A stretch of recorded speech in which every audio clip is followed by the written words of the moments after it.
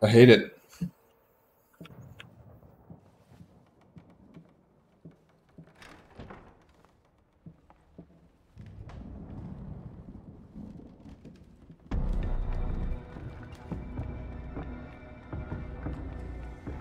What?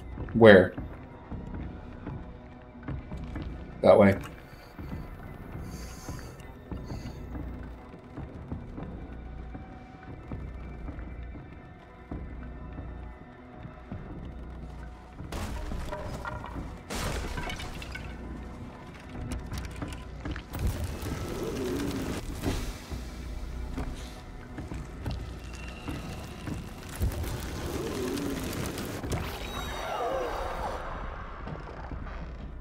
Oh my god.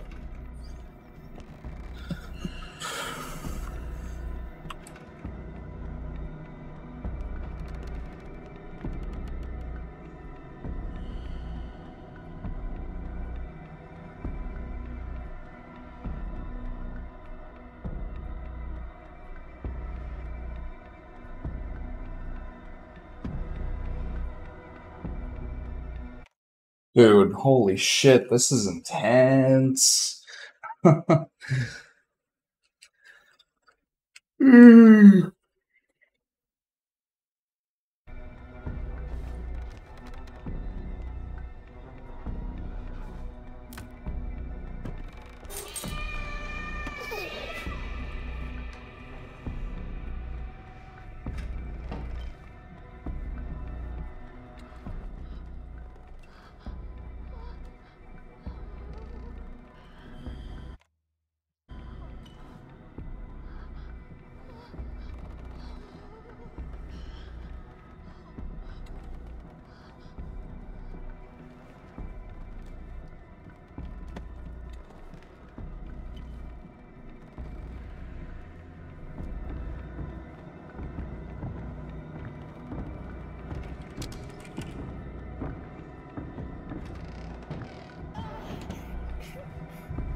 Fuck, I hate this. I hate this.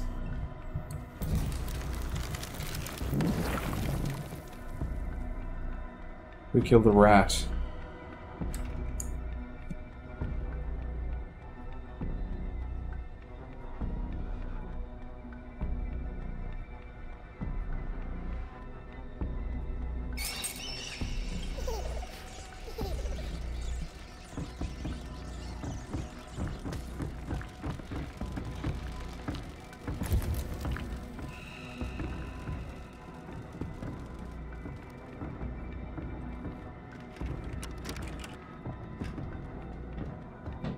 Oh, Why are you doing this to me?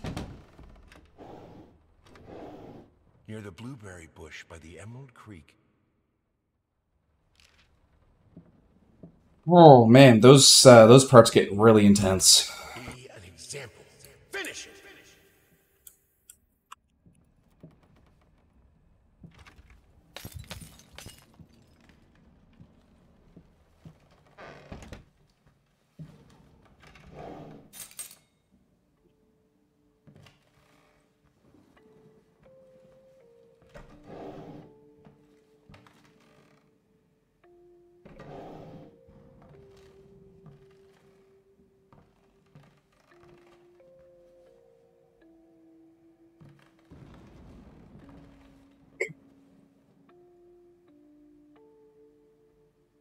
Well, this is the same one from the first one, from the first game from 2016.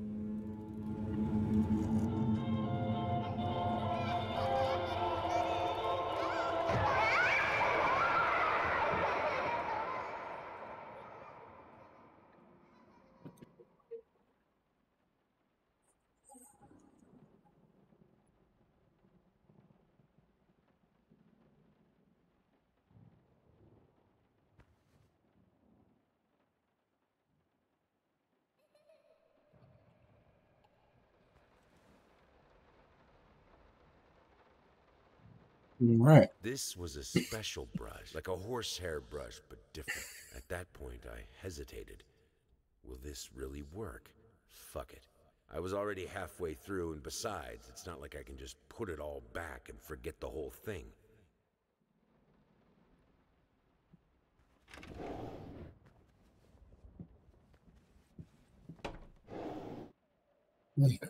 Excuse me, anything different? Anything new? No. Oh, that's the end of that chapter. God damn, thank God, because that chapter was something. Oh, oh. makes me almost makes me miss playing the original from 2016 when there was no combat, when there was actually nothing you needed to be running from. Because uh, yeah, back in 2016 when the first Layers of Fear came out, uh, there was nothing. There was like there was no threats. Like there were jump scares, there were like enemies, such as the woman we keep seeing here, but we never had to run from her in 2016, and we never had to fight her off. So I mean, it's a new new addition. Uh, it's a welcome addition, but at the same time, even though like getting chased does give you rush, I think I like the idea that I'm going to be chased, even though I'm not going to be chased. You know what I mean? Like, I like the whole psychological part of it, part of that, because uh, back in 2016, like this game was basically, I mean, it still is a psychological horror, but it was really a psychological horror back then because, well, most psychological horror games don't have any combat. Most of them, most of them, not all of them, but just most. The ones that I've played, anyway.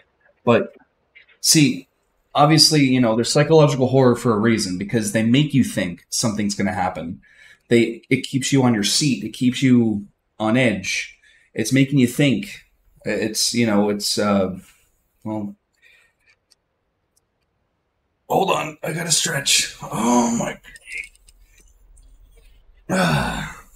but yeah, it's like it's making you think. Um, it's constantly giving you that sense of dread that constant sense of uneasiness, but nothing ever happens. Or, well, it's not the fact that nothing ever happens. It, like, nothing ever happens, as in nothing chases you.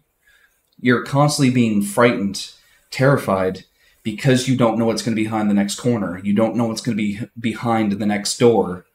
You don't know what's going to be in the next room. You don't, like, you know what I mean? That's what Layers of Fear in 2016 was there were enemies, yeah, but they weren't out to like chase you down. They were kind of just there to give you that sense of dread. And that's kind of what I wish that they did with this one. Like I say, I don't mind the combat. Like it's it's fine, you know? But I do like when I'm playing a psychological horror, I do like that psychological aspect where it's making you think that something could be around the next door or around the next corner in the next room behind the next door. You know what I mean? You don't know. And that actually brings me to a horror game I played long ago. Um, I believe it was called Left Alone. Now that game, that was a psychological horror, and I gotta, I gotta say, when we played that back, whenever it was, that shit was actually terrifying. Because like just this from the sounds, the visuals, and the constant sense of dread. You didn't know what was going to be in the next room, down the next hallway. You don't you don't you didn't know what was going to happen. There were no enemies in the game. There were like none at all, but there were constant sounds. There were constant there was something was always happening. And it was terrifying because you didn't know what was going to happen and it kept making you think well it kept making me think oh shit you know there's there's probably going to be something in the next in the next room or down this hall excuse me down this hallway but there wasn't. That game was genuinely terrifying. Excuse me, Michael, I'm i hiccuping. Uh, Left Alone was genuinely terrifying. You don't need a horror game with lots of chases. Not that this game has lots of chases. This game, uh, like, okay, the this this version of the original from 2016, um, even though there is some combat, it's not plentiful, which is good. Like, it doesn't get overwhelming to the point it's like, oh, oh, it's getting uh, less scary now because I have to keep running from this bitch. Uh, but no, it's. I don't even know if you guys could hear me. I think I was far away from the mic. You probably could still hear me. Um, holy hell! Now here comes a yawn. Excuse me. But yeah, like I say, uh, Left Alone was genuinely terrifying. And the thing of it is, the game was always dark. Left Alone was always dark. Every room you went in, every hallway. And again, there were no enemies, but holy shit, didn't it ever make it feel like that you were going to be chased down any moment. Yeah. Like, I love Outlast. I know that Outlast does have a lot of chase sequences, but the thing of it is, Outlast does it well. Even though there's there's plentiful scenarios where you get chased down, it's the way that they do it that makes it scary every single time that you get chased down by one of the inmates from the first game or one of the townspeople from the second game or one of the uh, other like uh, enemies from trials you know? It doesn't matter. Red barrels does a really good job when it comes to chasing. And again with this with this version of 2016 uh, there's not a whole lot of enemy encounters where you actually have to run from, which is good because if it was plentiful, it was more often. It would be it would take away the uh, horror experience. But like I say, I feel like I here's the thing. I know I just said that Outlast does it well because they have I don't know. It's just the way that Red Barrels does their chase sequences. I feel like if Layers of Fear were to do that, it would just get a little tedious. But with Red Barrels, they know exactly how to make a good chase sequence. I mean, don't get me wrong. Running from uh, or trying trying to get away from the uh, uh, this woman that we keep seeing, it, it it gets intense. It's really fucking intense. Now, it probably wouldn't be as if we constantly had to get had to run away from her. But yeah, like it's it's just that holy shit. Fucking hate when I start yawning because it just never stops. uh, I I was trying to finish off my thought process. I can't remember what I was going to say now though. Oh yeah. Uh, so when it comes to horror games, I love my psychological horror. I love my survival horror, and uh, if I had to choose, I think I would honestly go with psychological horror. And again, it's just because I think it's genuinely more terrifying when I mean when there is nothing actually chasing you, but you keep thinking something is going to chase you. I lo- I I think it's genuinely more terrifying when a game actually fucks with you mentally, psychologically, more than uh, more than it if it more than it does if it were to actually involve more chases and combat and shit like that. You know what I mean? When you have nothing at your disposal and you just have that constant sense of dread, even though nothing actually makes itself known, That's more terrifying. Speaking of terrifying, that is also terrifying. Well, alright. So that means we're on this chapter. So we have one chapter left. Damn. That's crazy. well, we have one chapter left for Layers of Fear 1.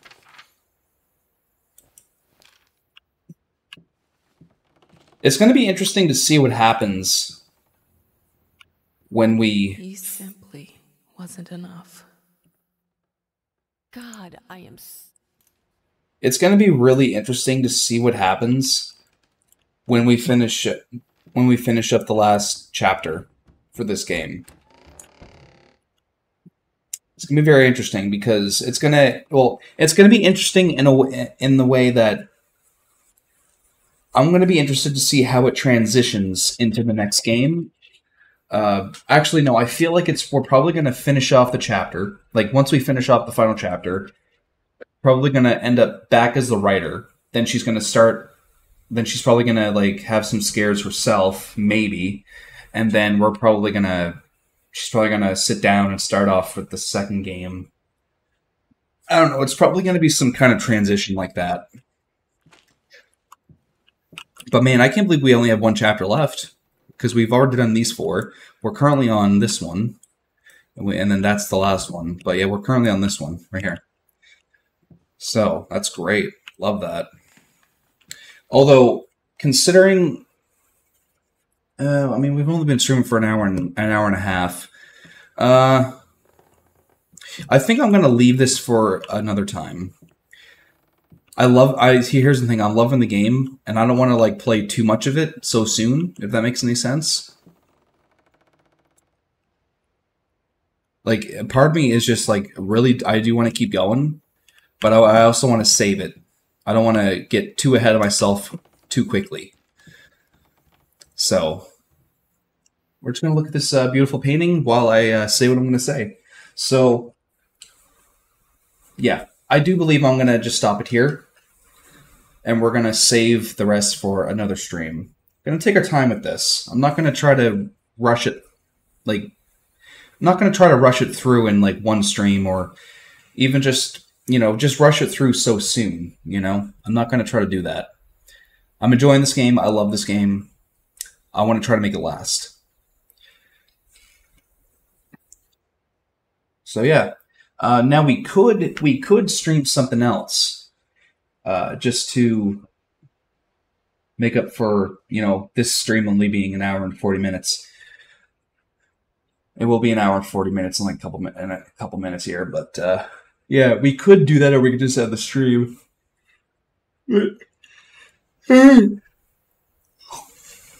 I just don't know what we would stream for for a little bit.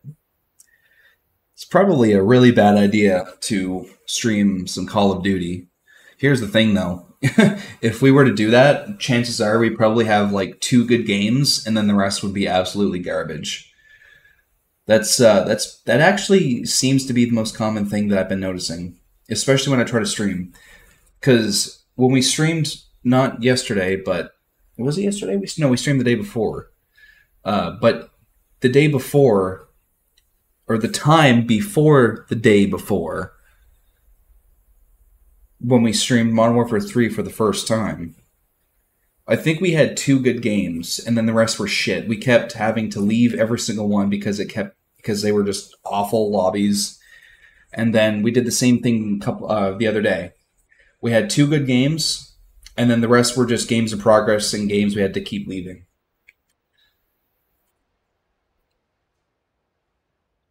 It uh, it's it's unfair. It, takes a while before you can actually get a good lobby again. It's fun, you know. So no, we're not going to do that.